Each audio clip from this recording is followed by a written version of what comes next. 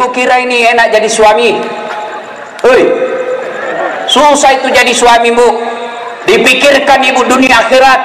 Dipikir bagaimana supaya kami cepat dapat duit bisa dibelikan kalian baju baru supaya hargai kau tetanggamu kami pikir ini suami supaya dibelikan kamu emas supaya kau pulang kampung dihargai sepupumu kami pikir bagaimana kau bisa dibelikan mobil supaya kulitmu tidak rusak kena matahari dipikir bagaimana kau bisa dibelikan AC supaya kau tidur dengan nyenyak. Itu dipikir sama suamimu. Aja jangan suka marah-marah. Kenapa saya bela kau malam ini. Mau baik kalau dia cantik. Gendut kuat makan malas.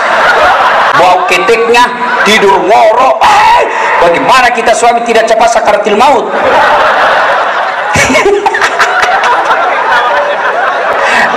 rasa kau malam ini. Hancur kau ibu. Dia kira enak jadi laki-laki. Apalagi itu polisi di kantor dimarah-marahi sama komandannya. Siap komandan. Siap salah komandan. Siap salah siap salah. Ditembak pantatnya siap salah komandan. Datang lagi di rumahnya dimarah-marah sama bodoh memang. Kenapa kau tidak lawan? Apa mau dilawan? Nah dia kapolres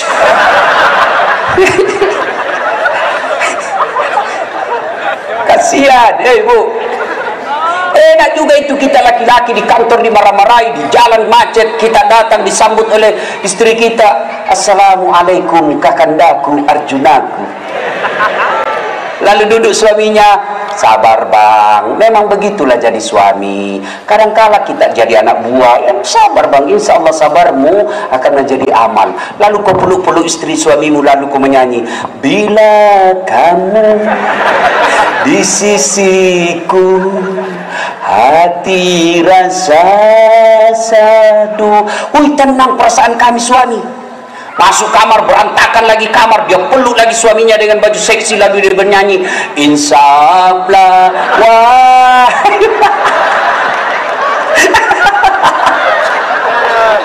Kan enak. Dia malah sebaliknya begitu suaminya sakit-sakit dan mau pensiun dia tidur kasih tidur suaminya di pahanya lalu menyanyi bila Israel datang menjemput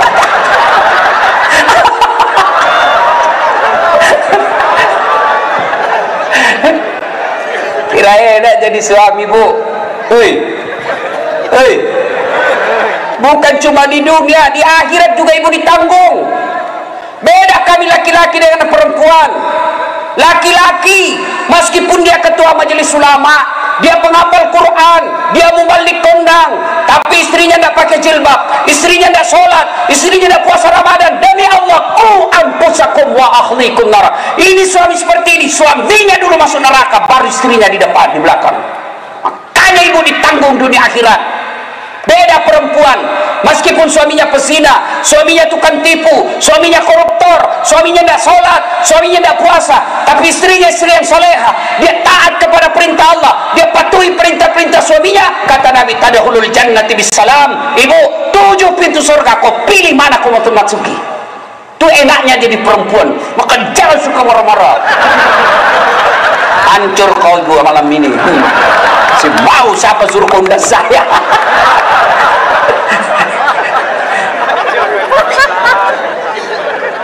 enak kan kalau kita pulang sudah siap kopi. Kami ini laki-laki tergantung istri. Kalau kita pulang kau sopan belum kita duduk sudah siap sarapan. Datang kita punya ibu kehormati datang saudara kami ke kau enak pasti siapa pun dia akan berkata tidak mungkin kuhianati istriku. Istriku di rumah adalah bidadari surgaku tapi ini pelit baru datang mertuanya baru mau duduk. Dia bilang kapan pulang mak? Eh, datang iparnya bengku aja mukanya. Pulang suamimu. Apa kata mertuamu? Hei apa itu istrimu nak? Saya sekolahkan kau tinggi-tinggi. Kujualkan kau warisanku supaya kau bisa tinggi sekolah-kolah kau jadi pejabat. Apa nah istrimu aja tidak hormati kamu? Saya datang ke rumahmu saya belum duduk dia bengkok mukanya. Datang saudara-saudaramu tidak pernah keluar dari kamar. Apa itu istrimu? Tidak ada baik-baiknya kau kawin lagi saya carikan kau sepupumu saya kasih kawin kau lagi. Hmm rasa kau. Si mau.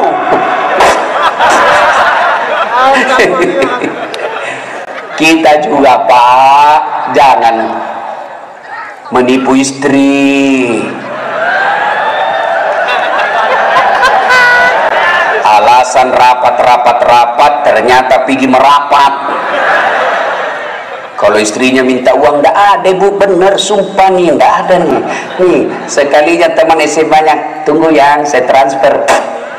Ini ini model-model tukang tipu ini semua ini. Tenang ibu saya bela kok malam ini. Tenang tenang. Hei pak. Hei. Hei.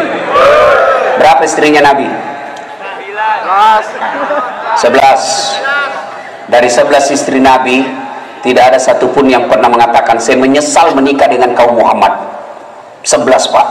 Bapak cuma satu istri menderita lahir batin. Dengar masih ingat waktu bapak menikah? Apa yang bapak ikrarkan ketika ijab kabul? Saudara ada saat latif saya nikahkan engkau dengan anak gadisku Nora Siddiqia Nasrun dengan mahar seperangkat alat sholat tunai karena Allah bukan Kapolres yang kita jadikan jaminan? Bukan bupati yang kita jadikan jaminan. Siapa? Allah. Lalu datanglah istri kita ke sini. Dia tinggalkan sanak saudaranya. Dia tinggalkan ibu bapaknya. Dia tinggalkan tanah kelahirannya. Dari Sulawesi dari Jawa dari Madura. Dia datang dari Sumatera. Datang ikut suaminya sebagai taat kepada